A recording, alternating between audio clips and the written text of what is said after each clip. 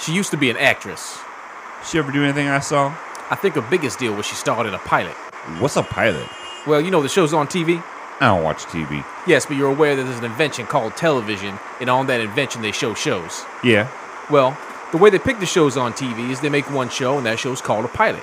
And they show that one show to the people who pick shows, and on the strength of that one show, they decide if they want to make more shows. Some get accepted and become TV programs, and some don't and become nothing. She starred in one of the ones that became nothing.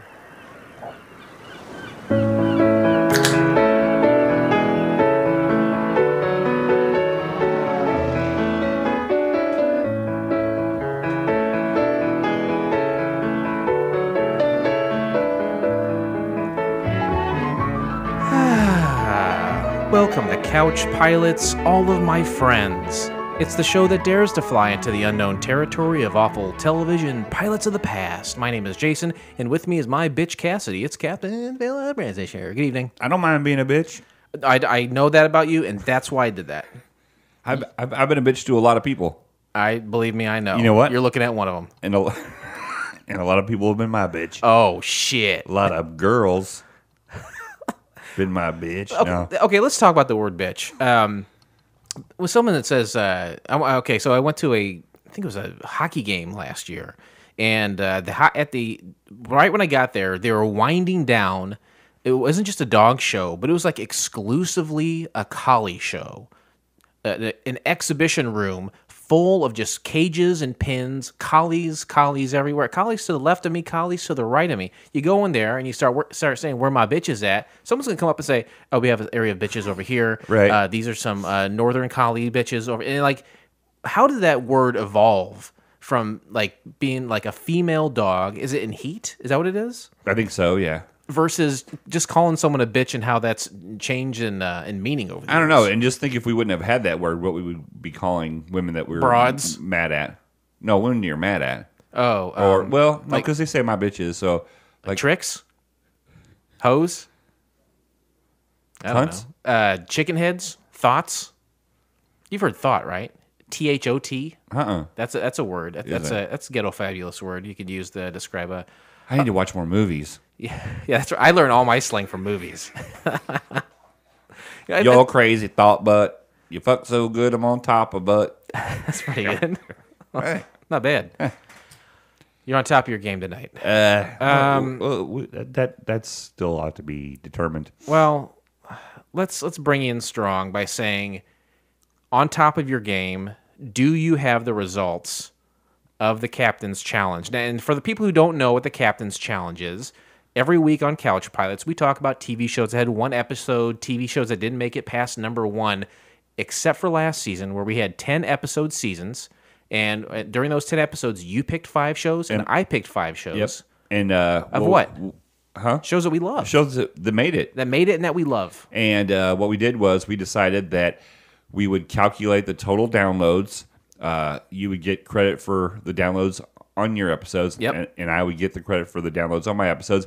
And at the end of it, we would tally that up, and we would see who was the Pilots Challenge cap champion. It's just that easy, right? It's just that easy. And um, I know we've got you've hooked up the pachinko machines to some of the downloads. And Yeah, I've been going. I've been going through a lot of punch cards. Mm-hmm. Uh, I've been um, doing a lot of arithmetic. we don't really talk about the pachinko machines very much anymore, but Yeah. they're they're two seven thousand pound non electrical machines that calculate all the numbers that have to do with couch pilots, whether it be our frequent flyers, aka our listeners, Right. Uh, and all of the frequent flyer points they accrue, anything number wise uh, that has to do with couch pilots, they calculate, including the captain's challenge. Right, and you can get um, those points uh, by uh, downloading the show, telling a friend about the show, posting about the show. Yeah. any of those things, uh, the pachinko machines calculate, and they, They they, keep all. track of it. Yeah. Mm-hmm. I mean, we have a master list of where everybody stands with it. Right. Um, it's kind of like top secret because we don't, you know. You don't want to get that out there. No, No. as far as we're concerned, everyone is equal. Wink. There's a few people at the top, but um, what did you what did you pull from the pachinko machine concerning the challenge of last season? Well, I think the best thing for us to do is for you to play uh, some music for uh, a, a victory speech. And oh, okay. What's uh what kind of victory speech do you want? What kind of music? this is fine.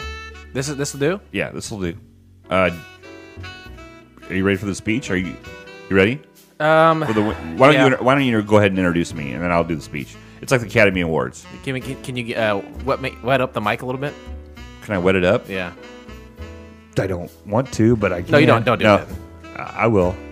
I'll I'll go. Uh, I'll go crazy on it. How's how's that? That's Ladies rough. and gentlemen. Oh, that's oh your mic. Yeah, mine. Hold on. Why would we do yours? I'm the I'm making the announcement, right? Right, right, right. And then you can do whatever you want. I'm announcing you. Okay. Uh, let's wet the mic and go. Ladies and gentlemen, here to announce the winner of the Captain's Challenge. Please give it up for Captain Philip Rest Assured. Thank you, thank you, thank you, everyone. Um, the uh, winner of the Couch Pilots Challenge was me. Um, so do you want to? Do you want me to? You want to be wet again and then introduce me to, to give my speech? No. Let's do that. You're wet again. What? The winner of this year's Captain's Challenge is Captain Philip Rest Assured. This is his first win and his 15th nomination. Congratulations, Captain. Thank. Uh, thank you, everyone. This is uh, truly an amazing honor. Thank you. Um, I have s- I have so many people that to thank for this award. You're reading something. You've prepared. You you knew you were going to win, and you prepared a speech. That's correct. Kind of ruined it by interrupting me. Awesome! Thank you, everyone. This is truly an amazing honor. And you know me. I like. I don't give speeches. There- Yeah. there's there's only a few speeches in my life that I've prepared for or that I've wanted to do. Yeah. And I, I haven't got the chance. But this is this is the platform, All right? right. Yeah. This is it. I don't beat you very often. No, you don't. It it, it hurts. Well, wait till after my speech. We'll see. You better put that on loop. It's a long time. It's it's been on loop. Thank you, everyone. This is uh, truly an amazing honor. I have so many people to thank for this award. I'm hoping the producers can bear with me and not cut off the music and roll, uh, not cut me off. Sorry, I'm nervous. Not cut off the mic and uh, roll the music before I'm done. Um, I knew from the start that the Pilots Challenge that I would be the underdog. So many people said I didn't have a chance that I couldn't compete with Captain Black in this race, or any other race for that matter. Well, except the number of women I've betted. That's a no brainer. I'm obviously, nobody will ever be able to achieve my greatness. Hashtag 100 plus. Thank you. Thank, thank you. But anyway, I'm sorry. I, I tend to ramble. I tend to ramble when I'm nervous. Here we go. Uh, I first would like to thank Jason and insert name here for bestowing upon me the honor of being the best man for their wedding. I have known Jason for many years, and I consider him one of my dearest friends and closest friends. And I know he feels exactly the same way. Insert name here has done the impossible in getting the ultimate bachelor to settle down. She has looked past the number of flaws and idiosyncrasies and accepted him for who he is. This isn't about your win. Bear with me. Uh, a broken down middle aged man who needs 24 hour around the clock care. Huh? Could, insert name here, have done better? Sure. But we are all grateful for her sacrifice and kind heart. It's it's as if she adopted a special needs elderly dog with one leg missing and P- PSD from being a fighting dog bait. But I digress. I'm sorry.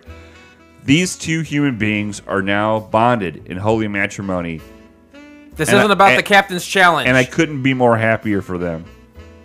This award is not for me. This award is for everyone out there who never were believed in, who has been bullied and intimidated by their co hosts, or made to feel like their jokes aren't as funny as their co hosts. This award is for you. When I first met insert name here, I told her she was fighting a losing battle, but she never gave up. I told her that Jason had much to offer except a fear of commitment and financial stability. She didn't care. She pressed on like a soldier on the front lines of Beach Normandy. Some would call, insert name here, crazy, but I call her a saint. Jason, I know, because I am literally your best friend, right now is the luckiest man in the world because he has finally found someone to complete him. Insert name here is his 20% to her 20 80%. I didn't win this award for myself. I'd like to thank my campaign manager, Dee Dee, for really talking me off the ledge with this Alice thing and making me replace it with the pilot of Futurama. Without her. I spent a lot of time on this. Without her guidance, I'm sure I would have still beat Captain Black, but maybe not by such a landslide. Speaking of landslide, I want to read a quote from an amazing, oh, God. inspiring artist, Stevie Nicks. Shut up. I took my love, I took it down. I climbed a mountain and I turned around. Get off the stage! And I saw my reflection in the snow covered hills till the landslide brought me down. Oh, mirror in the sky, what is love? Can the child without my heart rise above? Wrap it up! Can I sail through the changes, ocean tide? Can I handle the seasons of my life? These are very powerful words. Powerful words that led us all in our daily lives. I hate this! With this award, my heart did in fact rise above. I am sailing through those changing tides. I can handle the seasons of my life.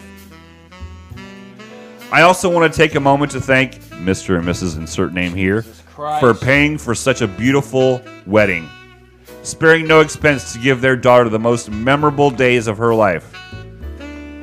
They have taken a cat box and turned it into the London Symphony Orchestra. Let's give a big round of applause to insert Mrs. and Mrs. her name here. So on this day, insert date here, let us raise our glasses in honor of the wonderful couple and let's toast that, insert name here, never comes to her senses and realizes she really, really, really settled. I also want to thank those guests that have. I also want to thank those guests that we have had on Couch Pilots to review these shows that I selected. I don't remember anyone that was on, but I am sure they did a sufficient job in their appearance on the show. I want to thank God. Without Him, none of this would have been possible. And I can't forget to send a special thanks to the man, Philo Farnsworth, for his invention that made this whole thing possible the television. Kind of a clap there would be great. Thanks. And finally, there is one man that I cannot leave out.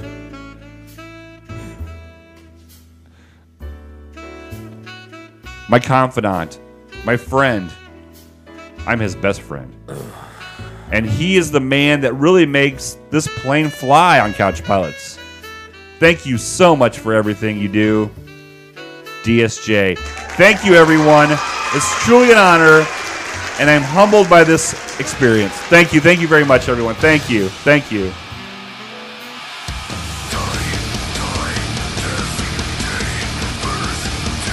Think that's the last time we do something like that. If if uh, a season's worth of episodes is going to culminate in that masturbatory piece you just did right there, That was great. uh, uh, we need some. We need a little cleanser here. It was not great. Did you not enjoy it? I read it to my I, I, my wife read it, and I and and then are we just skipping what? Up? Okay. Yeah, I'm done with this. This is some. This is some bullshit. We'll, we'll come back to it. Can't do it. Hello. Uh, Kevin, you're on the Couch Pilots program. I love you. What are you doing? Oh, I'm just sitting down, uh, not making brown, Okay. Are you uh, you making iced tea? just lemonade. Just lemonade? Yeah. Hey, Kevin, this is Blake.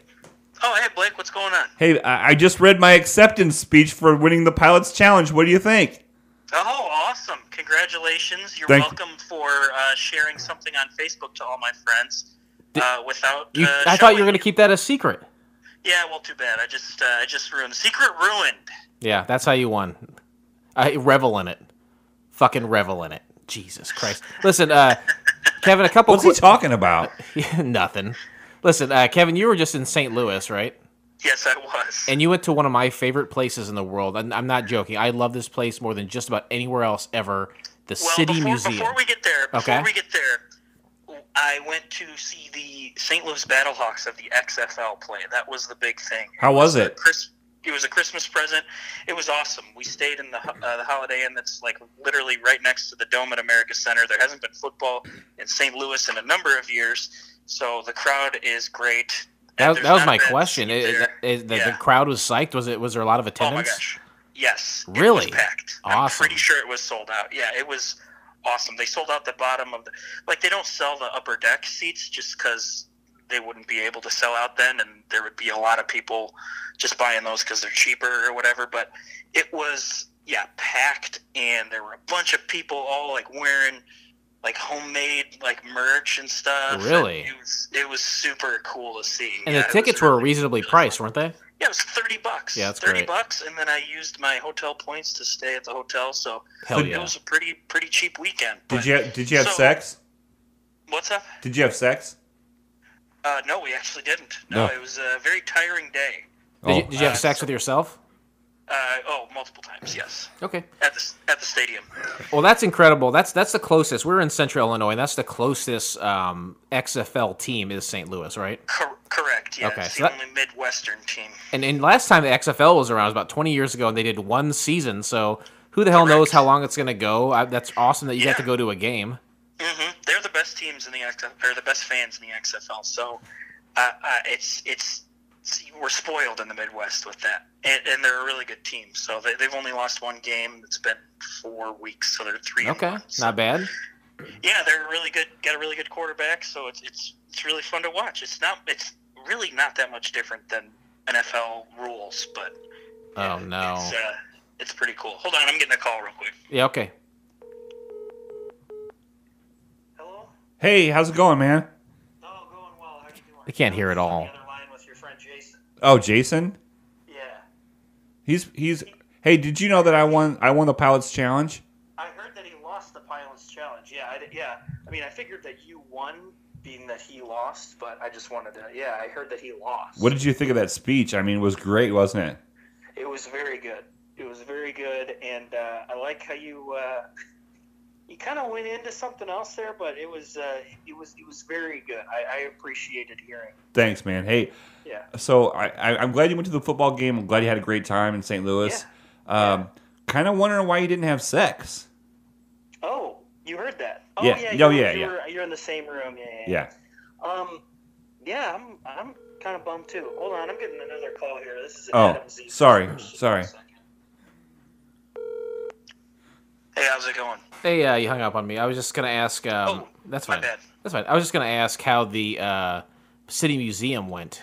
Now, City Museum. Now, here's here's the thing. So we left the football game in the third quarter because I am a man who has diarrhea frequently, Sure. but Cha cha cha. not not that frequently does it become debilitating. This day was one of those days. Wow. Where I was not able to enjoy myself. Can't do it. Um, I did not have my um, anti-diarrheal medicine that I would have taken in the morning. I completely forgot uh, to even bring any, and it was debilitating. So I was like, just going to the bathroom, like, oh my gosh, this is terrible. So we went back to the hotel, watched the rest of the game there, and then we're sitting there like, okay, let's figure out where we want to go to eat.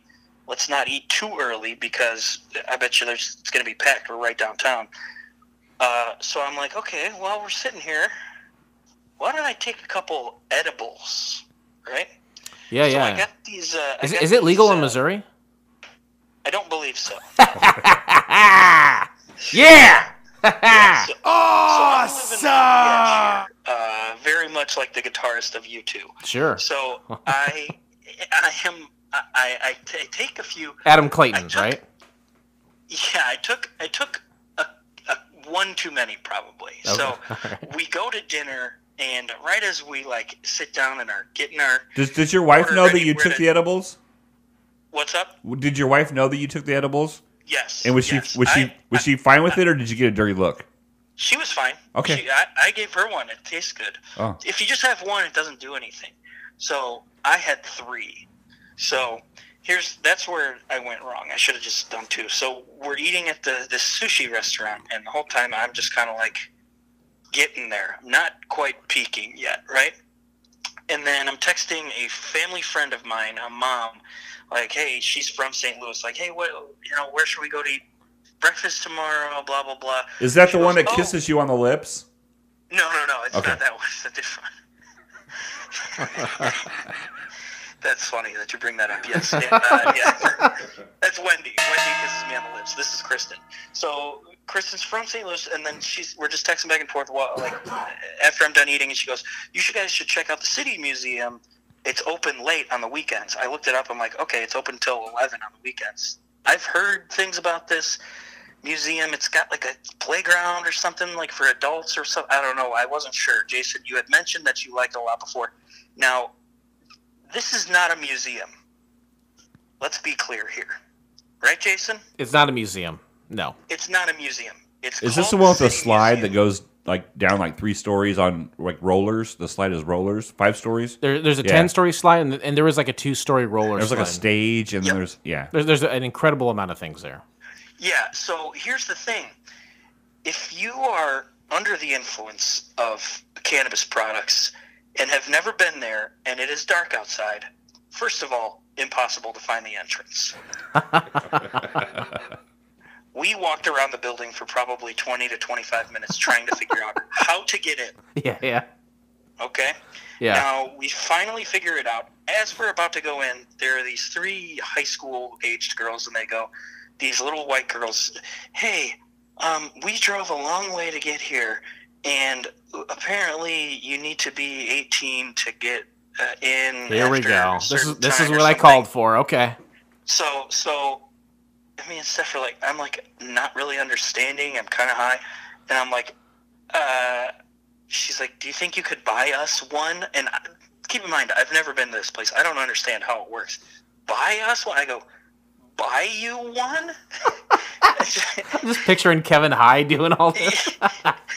and Steph's just looking at me like, because she's expecting me to do the talking, of course. I'm like, I don't think I look old enough. And then I just turn around and walk away, and two of the three girls started cracking up because I think that they think that I think that they thought I meant like I don't think I look 18, which clearly I do. They gave me the Mister Mister thing, but like I don't think I look Great old enough to band. be their father. Basically, like realistically, I definitely don't. But Right. still, still, we. So I'm just like, sorry, I don't think I look old enough.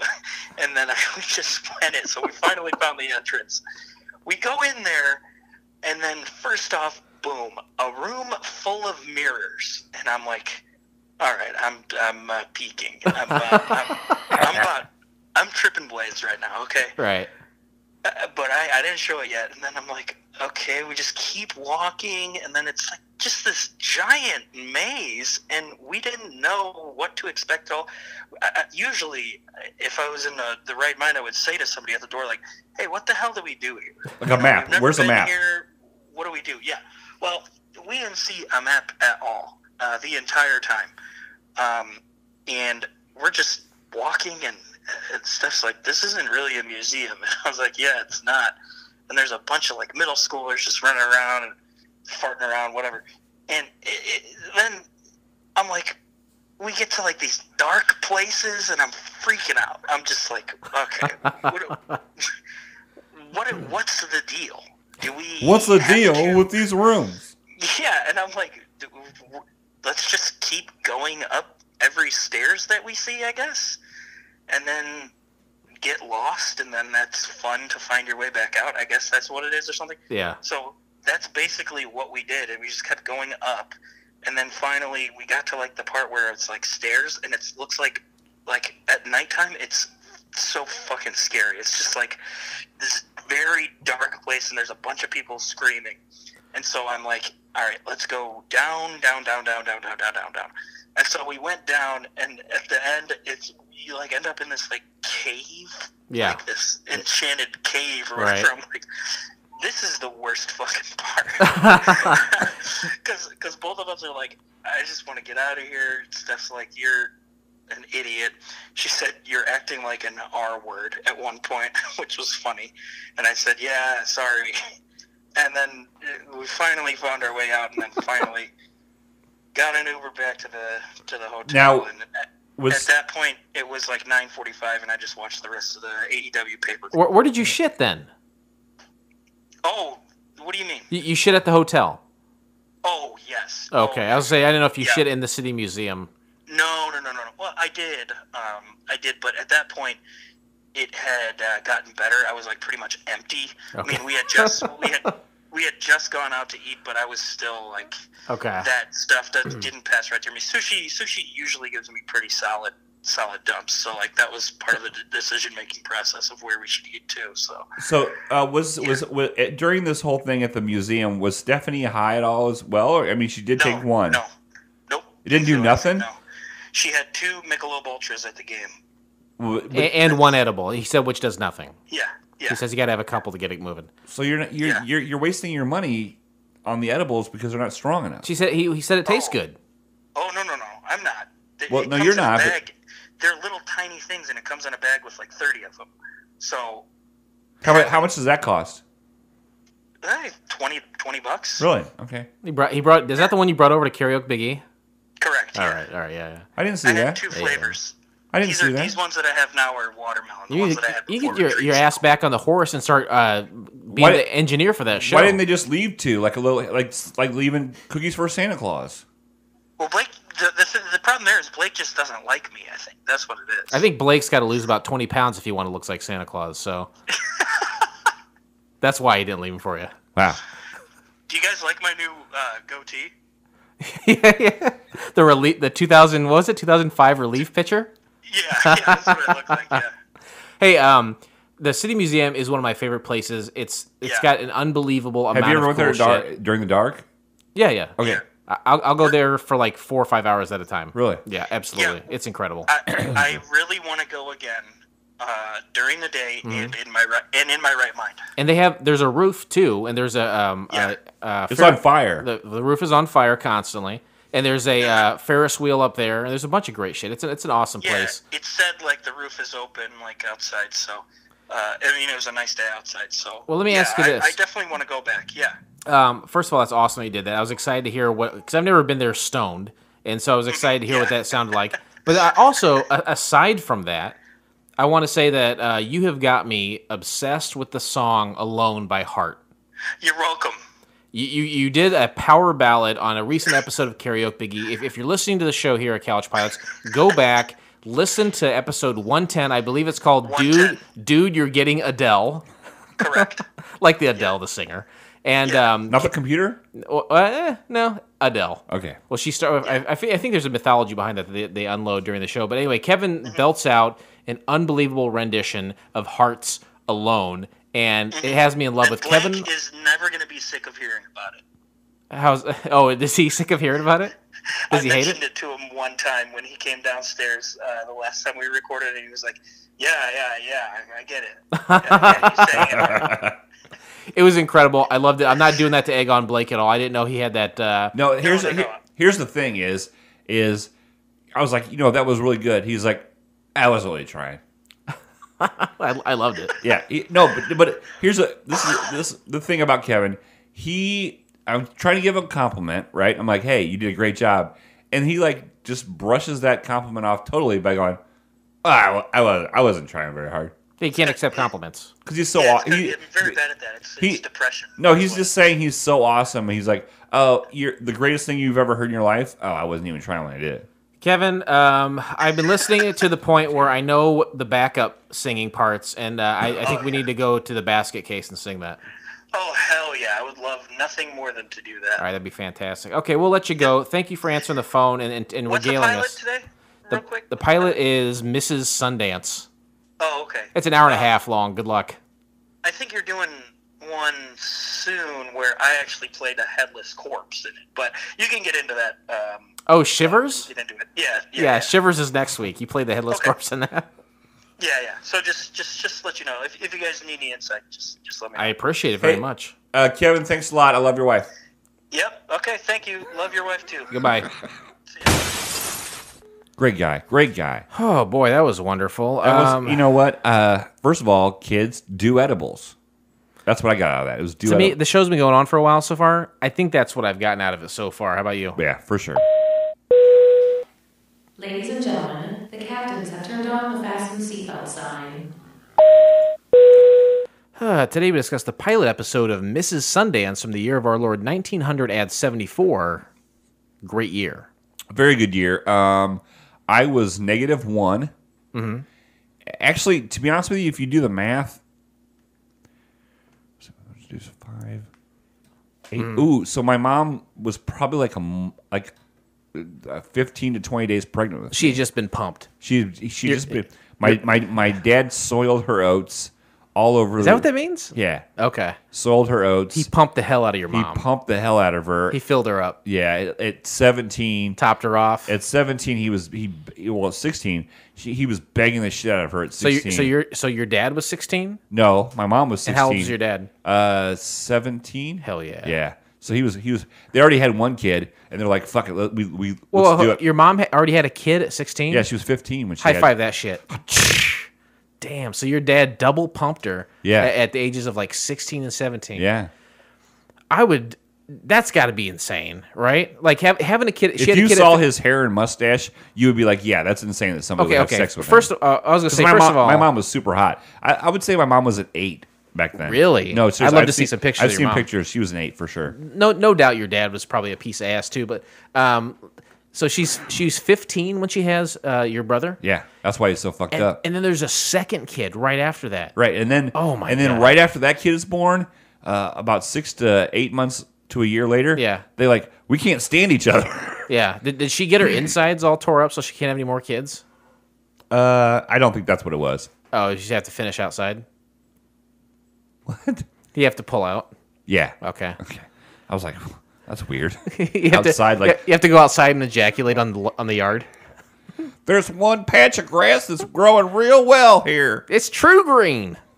Um, that's how I think of 1974 anyway. This would be a good time to call my mom, but I'm not going to. Yeah, we shouldn't. Um, but the, that's not the only way, way I think about 1974. There are other things that happened. How old here. were you? I was negative one. Um, negative seven. Oh, so your mom and dad didn't even know each other. No, no, no, Yeah. not at all.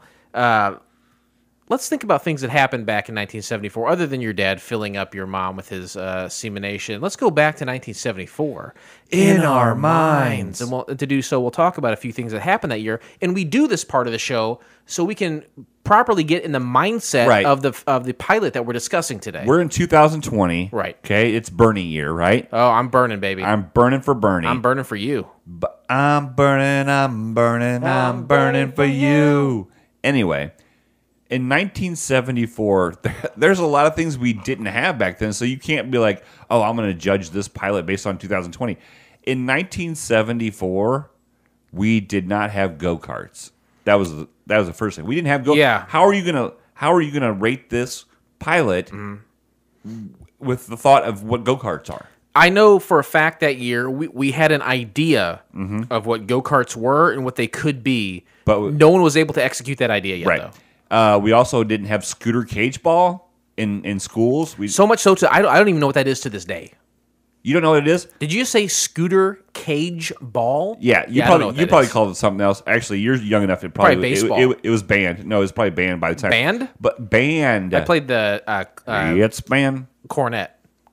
Jim Cornette. Yeah, I played the Jim Cornette when I was in fourth grade. Uh, scooter cage ball was uh, there was a like uh, a plastic red uh, plate with rollers. Mm-hmm. Okay, and you had to have one knee on it at all time, and you could scoot across. You know, and there was a giant ball, like a giant, like you know, like the dodgeballs, I love this so far. right? But think of it as like Like a yoga ball, no, like bigger than that. It was it was huge, size of a Buick.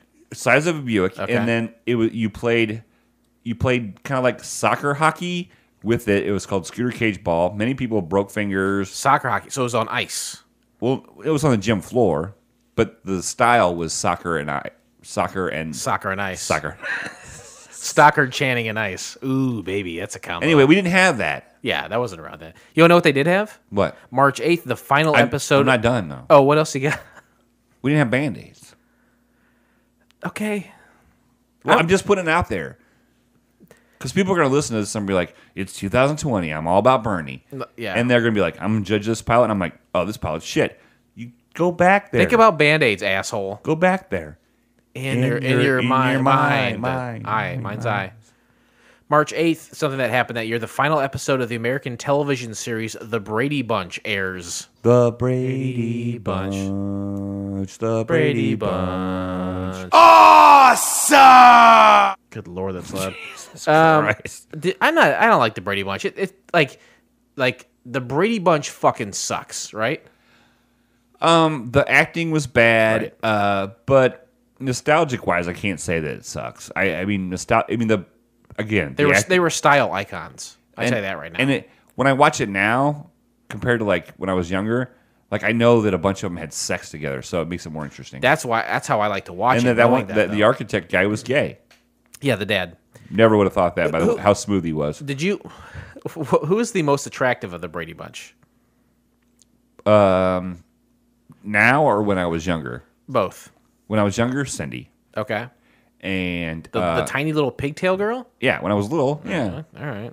and uh, when I got older, obviously uh, for legal reasons, it was Marsha. Uh huh. Yeah. My uh, Greg for me. Oh. Uh, March 11th, Rhino Store gives people five cents a piece to take home Danny Bonaducci's album. You hear that guy? I know who Danny Bonaducci Who is from Uh, the the Partridge family. Yeah, yeah, the Partridge family. He was He the, was the drummer, the redhead. he was a little boy, right? And it, just a little boy. I feel I feel like there's anytime there's like a young um, star of like television or something like, hey, you know what you should do? You should make an An album. album, yeah. And they're like, why would I ever do that? I'm an actor. It's like because people would buy. Well, the they did that because the the other guy from the Partridge family was very successful in his music. Yeah, what was that guy's name? Uh, Rick, Rick, Ricky, Ricky Marks. Rick Marks. That's Yeah. right. Yeah, he was. I love. Um, I love. But, but Rick Marks had some good albums though. Oh, for sure. But Danny Bonaducci apparently the sales were non-existent to where they're giving people a buffalo nickel a piece to take it home with them. That's great. kind of like this podcast. Like people, would, I, w- I would pay people five cents to I- listen to this. for sure, I would too. Except thirty four people because thirty four people made me win. I don't want to hear that. Those numbers are small. we didn't talk sad. about it. Like, what did you think? Like, how would you rate? How would you rate my speech? a great- one it to was a great speech. Thank you. I like how it says final draft across the top. Say that's uh that's putting it out there that there were multiple drafts of it. and why did you why did you use a sharpie? Anyway, I don't know. It was it was a great speech. You did a great job. Because it was so good at the end, I was like, "Oh, this is the final draft." So Congratulations to you. Thank you. You won almost fair and square. I, I completely succeed. You are the captain of choice. I- Thank I, you. I tip my cap and hat to you. Muchos gracias. and also with you. March 21st, uh, attempt made to uh, kidnap Princess Anne in London's Pall Mall, which is not a, a giant pack of cigarettes. Ironically, I smoke Pall Malls. Um, which which which princess is this? Prince Anne, Princess Anne. Who's who's the mom and dad of that one? I don't know. Probably some like incestuous blue blood shit. Was that before Diana? 1974, I would say so. Yeah, All right. yeah. I think Diana was There like was there was early. somebody 80s. tried to kidnap her, Yeah, have you ever- unsuccessful. uh, wi- without success. Correct. Um, Who was it? I mean, like how they do it? I don't. I didn't. I only. I have one sentence here of notes. Really? I, I, mean, I you're gonna bring this to the table. And I can then look be- into it. No, it's fine. Um, do you? I'm busy. What do you want to do uh, with? Uh, you ever? You, has anyone ever tried to kidnap you? No, people have done bad stuff to me, but always give me back. What would you? What would you do if someone tried to kidnap? Like if someone's like, uh, I would love it. you you would love it. Like, right, right, right, right, now, or when I was a kid. Like kidnap me at twelve, or kidnap me at like forty-five. your current age. Yeah. I I would be fine with it. Take me, Calgon. Take me away. Yeah, for sure. Where Where would you want them to take you? Would you want to be put into sex slavery? Yeah, that that that's probably the best place for me. I mean, I'm I'm not very good at cooking. I Right. I refuse to do my own laundry. A lot of times, people who are kidnapped are forced to do laundry and cooking, but you say you would like to do the sex. well, of course, that's the only thing I'm good at. Yeah, yeah. No, you're a, gr- you're a Hashtag great 100 plus. You're a grade A fucker. We all know that. I don't know about you, but I'm safely and securely back in 1900 ad 74. I am. I, I loved it. It was great. Why do we choose to watch Mrs. Sundance? Uh, there's three simple criteria that we use uh, on this show. One, it was a pilot that never went to series. Whether it aired or not is irrelevant. And number two, we had to find it on the internet. And number three, it had to be free, baby. yes, that's exactly You say free? right. I say free too.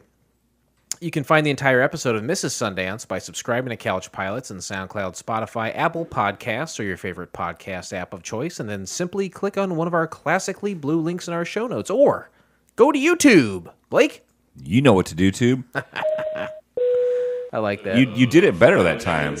I um, I've been doing a lot of cardio, uh, I can see. vascular. I What's can that? see. I can tell. My lungs are bigger. Yeah, you can see. I got big lungs. Oh, and that sweater, you can still see them. You can still see my lungs. It's a nice sweater. Summary the pilot. The girlfriend of the Sundance Kid is on the run with a price on her head when she hears rumors that the Sundance Kid may still be alive. A plus. Wow. Okay. No, that's that's exactly what you need to know. yeah, that's pretty much that's the a great summary of the program, and I agree. That's a that's an A plus summary. That's more information than I knew when I pushed play. Well, what do you know about the uh, the Sundance Kid? If someone said that to you, what what pops in your head? I, I think of Old West. I think of robbing trains. Yes. I think of Butch Yes. uh, and, and and Sundance and David Cassidy. He was the Partridge guy. Yeah. So Butch and David Cassidy and the Right. Sundance Kid. no, and I know they robbed banks for the poor, and it was a Mm-hmm. They wore tights, right? Did they wear tights? Um, I think bo- so. one was one was a fox, I do believe. Correct. Um, yeah, so that I mean that's basically all I knew. I'm not going to waste my mouth asking you if you've Oh. seen the film, uh, the cinema called Butch Sunday, Butch Cassidy and the Sundance Kid. Uh, with Paul Newman, Robert Redford. yeah, Uh, no. you're getting pretty uppity there for someone who who, who hasn't seen it still. Um, I'm uppity because I knew two people that were in the film. that is pretty good. That's, Um, that's an iconic film. I, I think that it is. I I've never seen it. A lot of those old westerns. I was listening to something Oh, today you've never about. seen it, have you? I, I never claim to. I'm not riding my high horse pun. What's your claim to fame? My claim to fame is I can uh, do this with my hands. And if you give me some lotion, goddamn it, I'll go all night long. I bet. Uh, but there's like like uh, the good, the bad, the ugly. You know, a fistful of dollars, a few dollars more. There's a lot of old school uh, westerns, John Wayne, Clint Eastwood, otherwise that I, I've just I have not seen. I don't really have a lot of interest in it, per, honestly. Uh, I was at the I was bartending at the Moose one uh, As you do.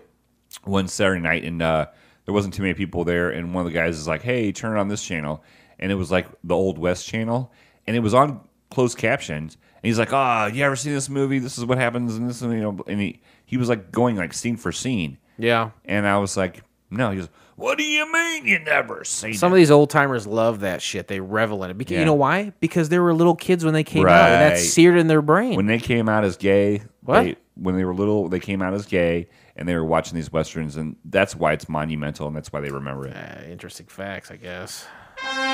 Ladies and gentlemen, welcome to Interesting Facts. This is the part of the show where Jason scours the internet to find facts about this pilot that you may not know. He does a hard job. He does it. He does it well. So, one thing I want you to do is not tell anybody your opinions of these facts. These are facts. He's found them. There's nothing we can do about it give him these facts, let him have these facts, and don't taint someone else's experience by sharing your thoughts on these facts. Thank you. Thank you. I do know what hard times are.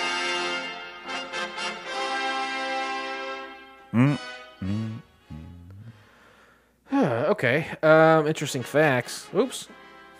That was kind of that was kind of cool. Uh, release date January 15th, 1974. January fifteenth. Correct. Okay. You seem confused by that. No, Fact. yeah, it's fine. Fact, you seem confused. Uh, taglines. We don't always get a tagline for a pilot, but here's one. After Butch Cassidy and the Sundance Kid were killed dead in a hail of lead, she was uh, still alive, left still alive with a price on her ten thousand dollar on her hide. Okay, maybe you should read that again to where it makes sense. They died in Bolivia, by the way. After Butch Cassidy and the Sundance Kid were killed dead in a hail of lead, she was left alive with a price of ten thousand dollars on her hide. Much better. Okay, I, had to- I had to find my circadian. Did you rhythm. know? Did you know that they were killed in Bolivia? That's an interesting fact. Um, I didn't know that, but that was I, I found that out from the show, but I didn't know that before. Claudette Nevins, who starred as Mrs. Lee, just died on February twentieth of this year, just about a week and not not even a week and a half ago. Is that the lady that was talking about the council? At the very beginning, Yeah. I believe that was the old lady in the beginning. Yeah, Yes, okay, she, all right. she just died. Wow. Fact. She. We've had some people die like after we've like done these shows. Oh, we've had some people die. All right, for sure. it's that known as the the couch pilot's curse. But but for somebody to die pre-release, yeah. that's pretty amazing. Yeah, I would never just wanna die just by like a month, just like like a month and a half. And th- but the thing is, like, you think, oh my god, we could have talked to her. We probably wouldn't talk to her. A lot of these old people, a lot of these people in this are either dead or so old that they, they, have- they don't. They're either dead or alive. It's one of the two. uh, stars Elizabeth Montgomery as Mm. Etta Pace. Elizabeth uh, is best known as Uh, somebody from Bewitched. Samantha. She was, she was a beautiful. Woman. She was a smoke show, Right? She, She was a the very cutest beautiful little woman. nose. It was that that nose. No, but her nose was amazing. She was she was a beautiful woman. Um, honestly, the only thing I have ever known her from was Bewitched. That's it. Wow, yeah, Fact. right. That's yeah. Um, co-stars Elizabeth Montgomery and uh, Robert Foxworth began a relationship around the time that this movie was filmed, living together for almost 20 years. Is that Jack Maddox? yes, before marrying in 1980 or 1993. That is amazing. This show brought them together and made they made love. That's absolutely right. Yeah, that's great. Um, she was uh, she died like two years later after that. She died in 1995. Oh, after they got they were together for twenty years, then they got married. She got married. She, they died about two years or so after they got married. Do you think she knew she was dying? I don't know. Probably So they were. He was fucking her for like eighteen years before he had to pay for anything. 20. 20, man. High five that shit. High five, Jack Maddox. Maddox for life. When Etta Place and Jack Maddox reach the abandoned schoolhouse where Etta taught, she sees an old bicycle leaning against the. Bicycle, bicycle. I love to ride my bicycle. Is that? Oh, is that it? Yeah, I, you kind of screwed up the melody part of it. Oh, I thought there was. Um, yeah, I screwed it up. Uh, Let's- anyway, let's do it again. Okay. I love to ride my bicycle. Interesting fact. Uh, she sees an old bicycle leaning against the railing. If you listen to the music here, you can hear "Raindrops Keep Falling on My Head" playing slowly. It was the theme song to Butch Cassidy and the Sundance Kid, and played extensively throughout the scene where Etta and Butch ride this very bike. Fact. Eh, eh, Fact. So much fact. End of interesting facts. So you're saying that in the movie Butch Cassidy and the Sundance Kid, mm-hmm. E- Etta and Butch ride this specific bike. No, no, the Sundance Kid. Yeah, that's what I said. Uh, we got Butch Cassidy over here, oh yeah, I know. and no. you got Sundance Kid over here. So But in the movie, Etta and Sundance rode this specific bike. yes, that's correct. That's interesting. Yep, and you can say so because interesting facts is over. right, I know Twitter responses. Twitter responses, Twitter responses. I wonder if Jason got some Twitter responses. As previously hinted, these people are all dead. So I definitely don't have any Twitter responses, but I do have 105 minutes on the clock to talk about this film. We're not putting 105 minutes on the clock. Let's go ahead and start. Um, on a train, you got some fellers making bullets, and then they are um, they're using it like a sepia. Is that what's called? The sepia filter, where everything looks old timey and orange. Right, like orange and brown kind of look. This yeah. must be their their attempt at saying, Here, "Here's a flashback" or something. Uh, I think this is like to uh, make you pay attention. Like they're like, okay, your eyes need to pay attention. I don't understand this part because at, right the, the train stops. Some lawman or a bounty hunter or something has Etta Pace, which is Elizabeth Montgomery, and he's ready to hand her over to some other dude, but that dude declines and says, "Let her go." Yeah, Right? because that's not. Yeah, that's not really her. Oh, it wasn't her. No, I, I don't know. I that, that's why the that's why the beginning was confusing to me. the the the posse guy, the head head Hmm. posse guy. Siringo or something. Yes, he goes there. He goes in and, and he's like, and this other lawman's like, here's your here's the person you want. And she's got her head down like a like a prostitute. Yeah, yeah, yeah. And um, he lifts it up and it's not her. Yeah, yeah, yeah. And he's like, that's not the one I want. I didn't- here's, okay, here's I didn't 50 know bucks that. for your trouble. Yeah. I didn't know. Okay, so that, that does clear up a lot for me right from the start.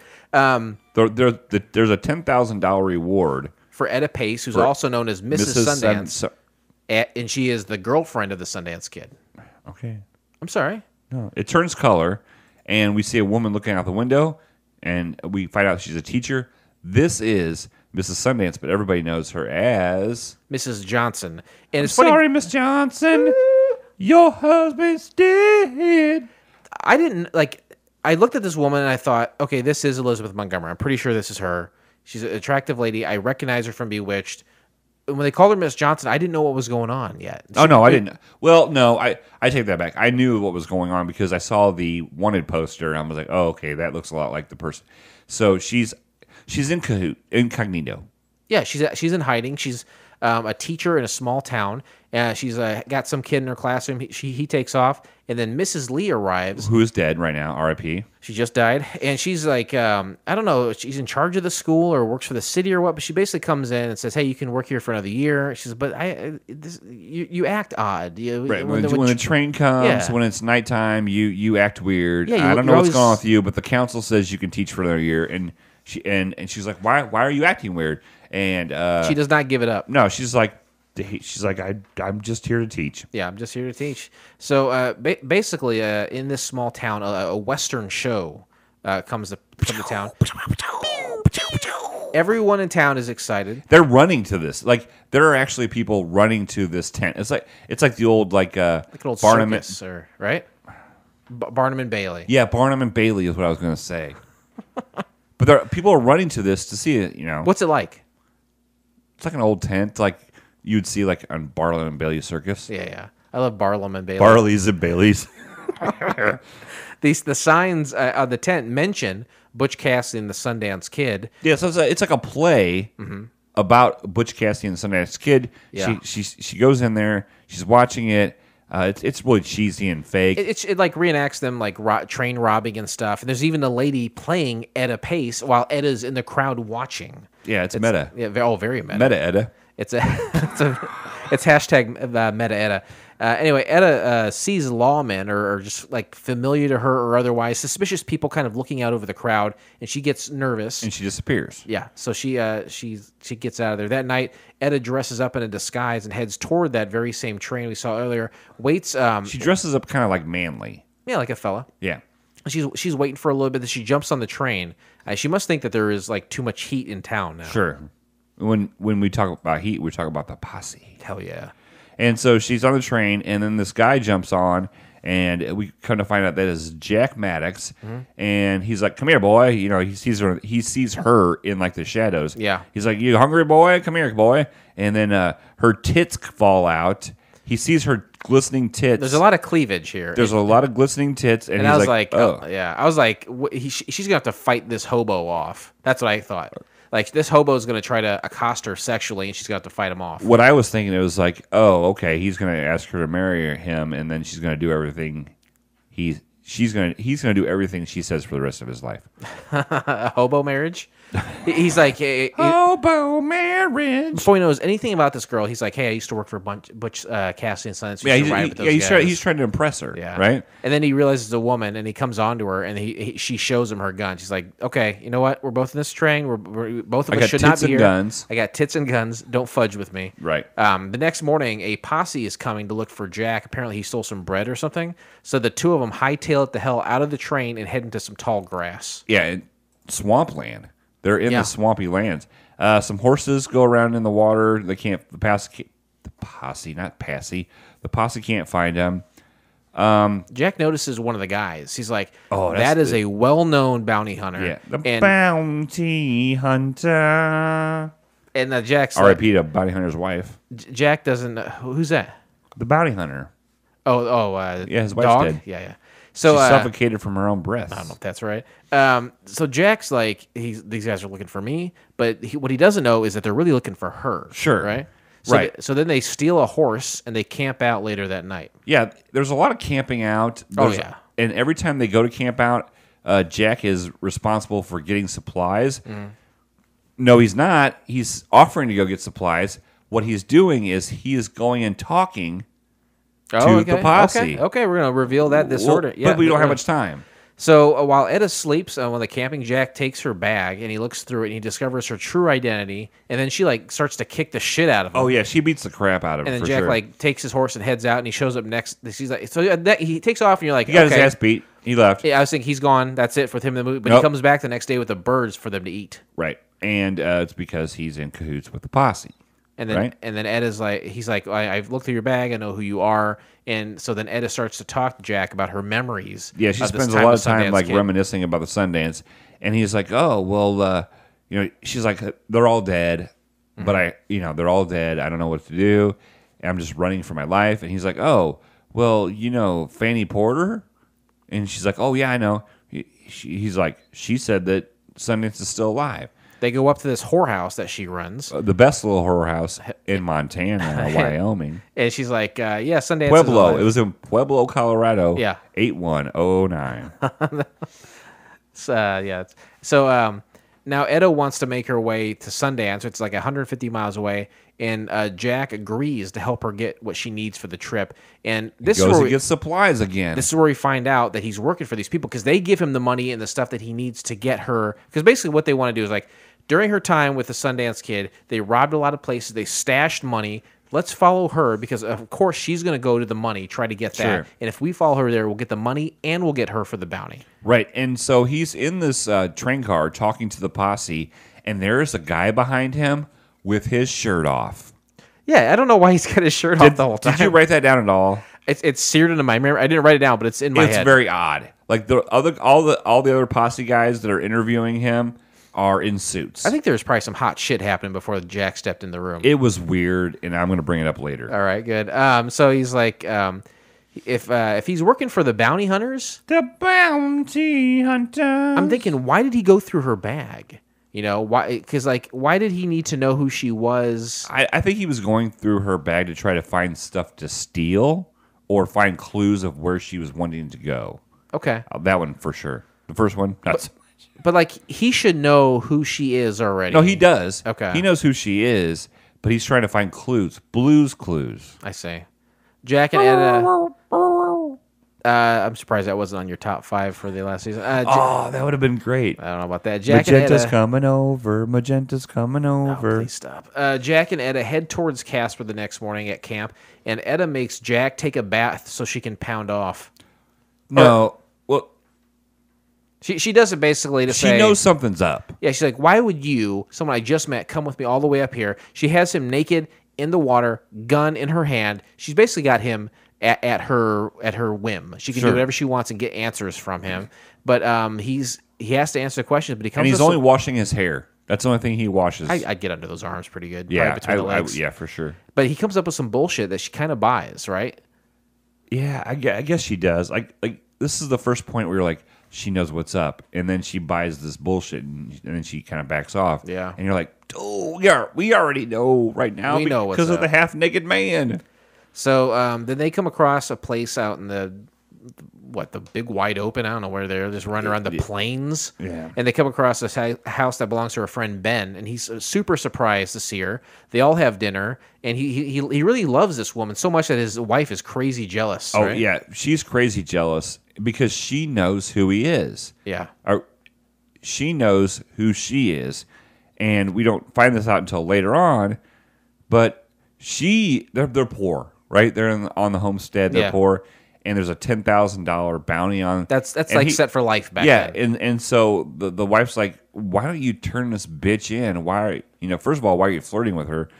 For second of all, why am I making her dinner? And third of all, why are you, you know, what what's the deal? She's pissed. So she's uh, they all have dinner. Typical woman. And she's like, um, uh, Ben's like, she's like to Ben, how do we get to the hole in the wall? And he's like, well, I don't know. And everyone involved who knows is dead except for one dude. So they go off to get him. They bring him back to the place. And in that time, the wife's sent her son off to go get the art, the uh, military or the uh, local the posse. the, the fuzz. Yeah, and, and so Uh, the guy that only guy left that might know is Walt. He is super out of it. He is super old and Yeah. senile, and he's also super drunk. And I love Walt. You're a Walt boy. I love it. I think he did a great job. so the fuzz is coming down the road, and and, uh, and the kids, the kid's name is Garth. oh, is it really? Yeah. I didn't realize that. Um, Ben's like, oh my god, they're coming. So he says, get hey Jack and Etta, get out of here. And then he goes up and runs to them and says, hey, go this way. They just went that way. He points them in was the wrong direction. opposite way. And, they take Ben, and that's that's the last we see of Ben. Yeah, and, and, and right before he leaves, he looks at his wife. He's like, "Yeah, I, I'm. I'll go with you guys and answer your questions because uh, uh, hiding and abetting is, you know, uh, punishable by hanging." He's like, I want to help you guys out, and he, he's, but he, he's he- blowing he- smoke. but- yeah, well, he's obviously blowing smoke, and he's also like giving a big fuck you to his wife. Like, yeah. hey, you little cunt. Well, um, Jack and Ed are right on. They come across her old home where she lived with Sundance. It's abandoned now, and then they set up shop for the night there. She sees some of her old poems that she wrote, and she reads them to Jack. And then Jack tries to convince Etta not to go to the hole in the wall. Right. Jack is Jack is a he's not like part of the posse. He's this he's kind of a He low level criminal scumbag. He was in prison. They took him out of prison and said, "Hey, we'll take you out of prison. You do this for us." Mm-hmm. He does it, but then of course he falls in love because she's a fucking And bombshell. he's got a conscience, man. He, he's got he a cock, Ben. I, I don't know if that's how you say it. Well, but obviously, like, what's thinking is is his brain thinking or is his penis thinking? Probably a little, little from A, a little from B. yeah. Etta knows something is up with Jack, but she's still not letting on. She's cool, calm, and collective this whole time. she's got to be to hang out with Sundance and Butch Cassidy. First off, she's he's naked and shampooing himself. Hell yeah. and she busts him out, and he she kind of lays back. And then this is another speech where she's like, mm, "Something's going on," but she still lays back. She uh, he then updates the bounty hunters again. There's a couple scenes. bounty hunters. And then the next day, they head into the canyon and they come across more abandoned buildings. They find all the old crew buried up there. Yeah, they go. They find the hole in the wall, which is supposedly you couldn't find it. And uh, they, so they get up there to find it, and Etta realizes for sure that not only is everyone dead, but that definitely includes Sundance. Like whatever she's been fed is, is a line Right. of bullshit. And Butch, then- Butch, and uh, they, they he died in Bolivia. Yeah.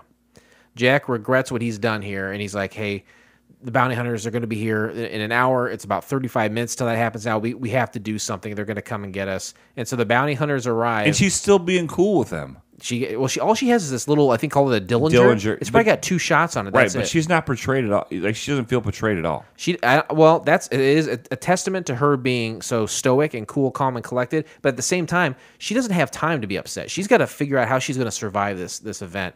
And the bounty hunters arrive. They see all the graves there, and then uh, they, they come up and they start walking around. They're hiding. Jack's hiding behind a wall. Ed is inside a building. He says, "If they, if anyone comes through that door, you shoot them no matter what. Right. Doesn't matter who it is." And uh, so Jack's hiding with his like little repeater uh, rifle, and he kills one of the, the Pachoo, pachoo. he kills one of the bounty hunters, and the others. Once that happens, they start to like take their position and start to kind of flank. And, the, and all these bounty hunters have suits on. Like they're in the west. They look great. It's hot in the desert. Yep. And they have their suits on. They're rolling around in the gravel Hey, with suits on. Hey, they're dressed to kill. Ooh, good answer. Uh, Jack kills another one through a wall when he busts through a cabin, and then he kills a 3rd He- Jack kills three of these dudes, Mm-hmm. Yep. and all you have left now is Siringo, the guy who's the leader, And then Siringo shoots Jack in the shoulder. right through the window. Yeah, he shoots him through a window. He sees he, uh, Jack had just killed his third man, and Siringo's there blasts him. And then sh- then Jack shoots Siringo yep. as well. So, you know, they're both uh, having troubles. So Siringo pins down Etta, and uh, Jack shoots him in the back so Etta can escape. And now they've they've got Siringo kind of like pinned down in this cabin. And then Jack is not doing so hot. He got shot pretty good. Right. And he's he's kind of chatting it up with Etta This- for, for what appears to be, and it might be, we don't know, one last time. Yeah, to me, this is the deathbed speech. I would think so. Yeah, he's like, I'm, I'm pouring my heart out to you because I'm about to die. I have nothing to lose. Mm-hmm. Uh, I'm sorry I did this to you. I, I kind of am in love with you, and uh, I hope you get out of here alive. She says thank you basically for everything you've done for me. Mucho, she said mucho gracias. That's right. She kisses him right on the mouth. Ooh, And then uh, Jack covers Etta while she makes her way to a horse, and she escaped. And we're following Etta at this point. Yeah. Out in the sunset, and behind us we hear a bunch of gunshots. Mm-hmm. The end. yeah.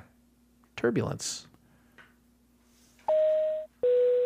Please remain seated as we are now crossing a zone of turbulence.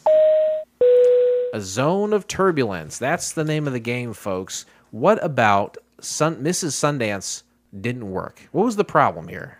Well, there's a couple problems. Uh, I I think the first thing we're going to talk. well, The first thing we're going to talk about is this is expensive. Okay, Okay. there's a lot of locations. Uh, there's a lot of uh, finding old Western stuff to use. Uh, this is expensive to do, and it's an hour and a half long. Is the pilot is is the regular episodes going to be half hour? No, they're they're going to be an hour. It's gonna be a forty-five minute show Yeah, for sure, and that's Yeah. expensive. Yeah, we'll be. That's the first thing. Okay, is wrong. What else you got?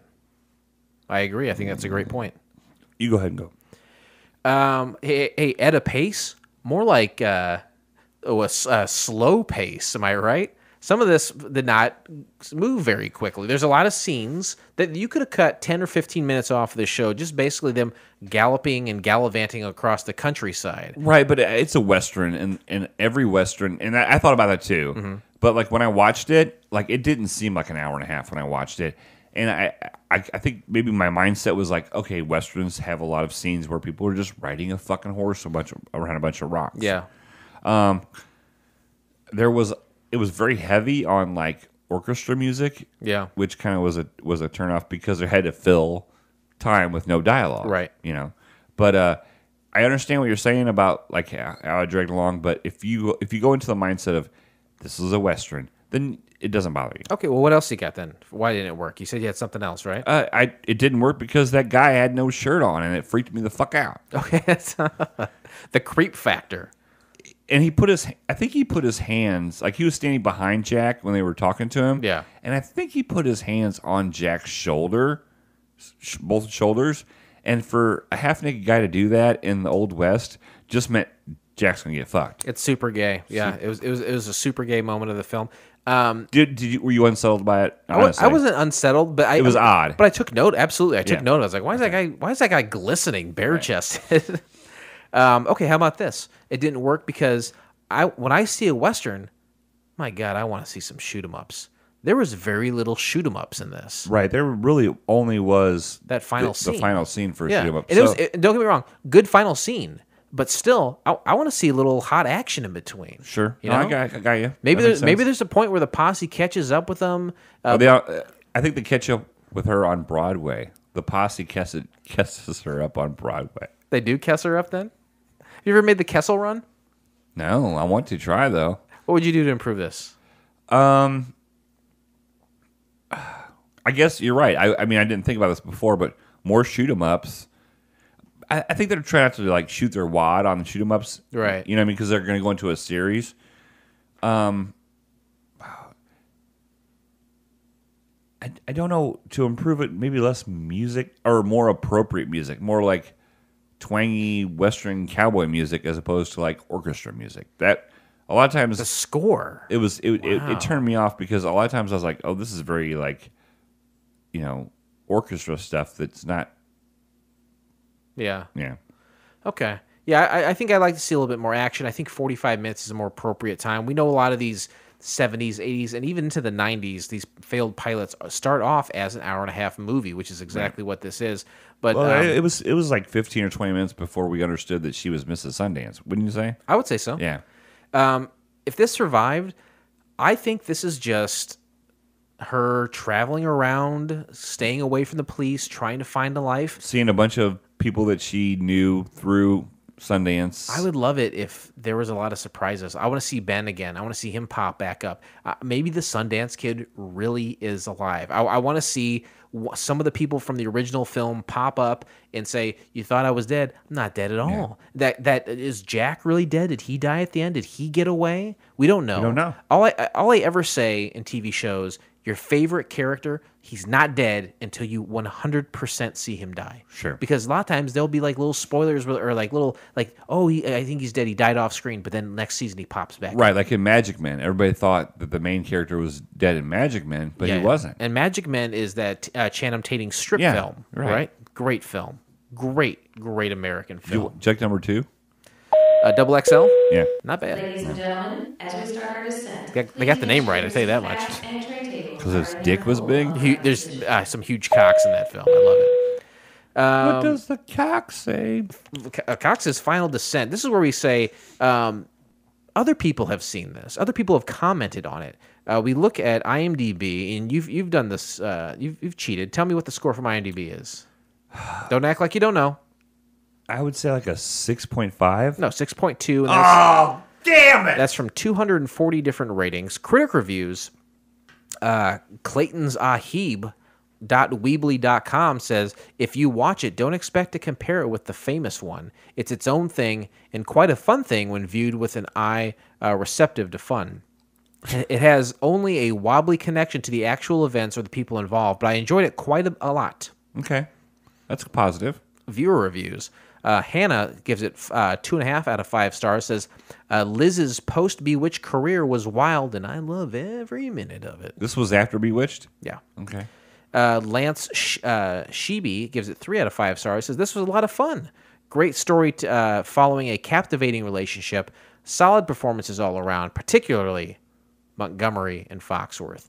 Um, Michael May gives it two out of five stars. I'll watch anything with Elizabeth Montgomery in it, but this was disappointing. She's uh, not even really the main character, so she spends the whole movie What? reminiscing about the Sundance Kid and affecting the film's actual main character, played by a guy from Falcon Crest. Who was the main character? Jack. I think he. I think he's Michael May is surmising that Jack Maddox, uh, Robert Forrest himself was, uh, or Foxworth is the main character. that guy's a film. fucking idiot. He might be a fucking idiot. Uh, last one here, uh, one out of five stars. Paxton Holly says, "Eh, again, a TV movie that's somewhat a sequel to the 1969 Butch Cassidy and the Sundance Kid, cheaply made and not very interesting. Uh, Elizabeth Montgomery is fun to watch anyway, in a role that isn't Samantha." Okay. Ladies and gentlemen, welcome to FCF Airport. Local time is 11:11 and the temperature is 69 degrees. For your safety and comfort, please remain We almost hit 69 degrees the other day. seatbelts until the captain Oh my God, that's so good. So close. We're so close. I, I, spring is almost here. Can you It- taste it? I, I, I keep my tongue out of my mouth just so I can try to taste it. I haven't tasted it yet. Uh, now we now we rate this. Now we say, what do we think about this? We've heard what other people we think uh, think about it. We've heard uh, some interesting facts. We put you in the mindset of the film, but now it's time for us to put our final stamp on it. Would you, would you like to talk about the grading scale? Sure. The grading scale is uh, one through seven. One being the worst. That's a Roy Biggins.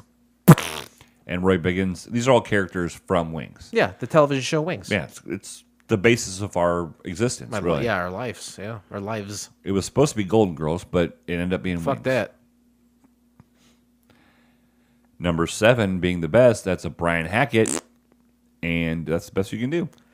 Captain Philip, rest assured, I turn to you. How do you rate Mrs. Sundance?